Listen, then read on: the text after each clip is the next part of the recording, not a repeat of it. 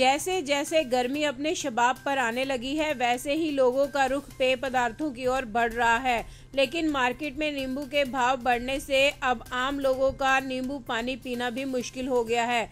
बात रादौर की ही करें तो यहाँ नींबू 120 रुपए प्रति किलो के भाव पर बिक रहा है। स्थानीय दुकानदारों का कहना है कि इस समय नींबू की क्वालिटी अच्छी न होने और भाव ज़्यादा होने से इसकी बिक्री भी प्रभावित हो रही है। वो आ ही नहीं रहे कोई क्वालिटी नहीं है।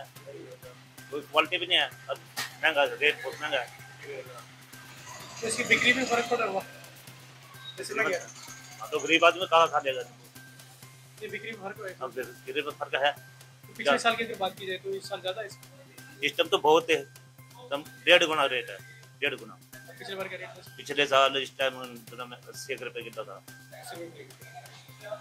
क्या कारण बता रहे हैं और तो जैसे पीछे आएगा वैसे देंगे रेट तो बढ़े ही बढ़ेगा जी। और कोई क्वालिटी नहीं है बेर बरीक बरीक से आ रहे हैं।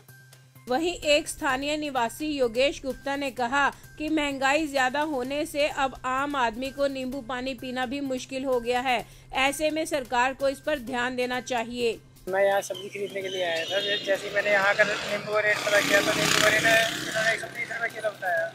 और जैसे जैसे गर्मी बढ़ रही है अभी आज की गर्मी को देखते हुए जैसे तापमान है तो नींबू पानी पीना आज डॉक्टर भी सलाह देते हैं कि नींबू पानी पी लिया जाएगा लेकिन अगर डॉक्टरों की सलाह को माने और अपनी जेब को देखे तो नींबू पानी पीना आम आदमी की पहुँच से बहुत दूर निवेदन है कि इस तरफ़ ध्यान रेट्स को थोड़ा कम करें। सूरज की तपिश बढ़ने से दोपहर को सड़कें सूनी तो बाजारों में रौनक गायब होने लगी है।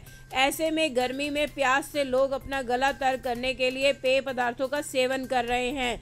चिकित्सक भी लोगों से लू और गर्मी से बचाव के लिए पेय पदार्थों के सेवन की सलाह दे रहे हैं, लेकिन मार्केट में नींबू के भाव ने लोगों की परेशानी को बढ़ा रखा है।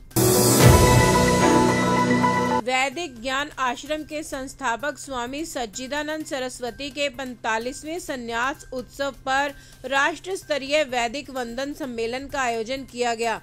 सम्मेलन में आचार्य धर्मेंद्र शास्त्री द्वारा यज्ञ ब्रह्मा के रूप में वैदिक मंत्रोच्चारण के साथ सामूहिक यज्ञ संपन्न कराया गया। केंद्रीय आर्य युवक परिषद के हरियाणा प्रांतीय प्रवक्ता एवं जिला अध्यक्ष डॉक्टर सौरभ आर्य ने बताया कि सम्मेलन में केंद्रीय आर्य युवक परिषद यमुनानगर द्वारा विभिन्न क्षेत्रों में उत्कृष्ट योगदान एवं सेवा कार्यों हेतु 10 महान विभूतियों को सम्मान पत्र उपहार व अंग वस्त्र भेंट कर सम्मानित किया गया। आज स्वामी जी के पैतालीसवें जन्मोत्सव पर हमने व्यक्तिगत और संस्थागत रूप से केंद्रीय आयोग परिषद के जो हमारे पदाधिकारी हैं मिस्टर लालू कुमार, सतीश सोनी जी और राकेश ग्रोवर जी भी हमारे जो है, वो भी एक बार मंच पर आ जाएँ।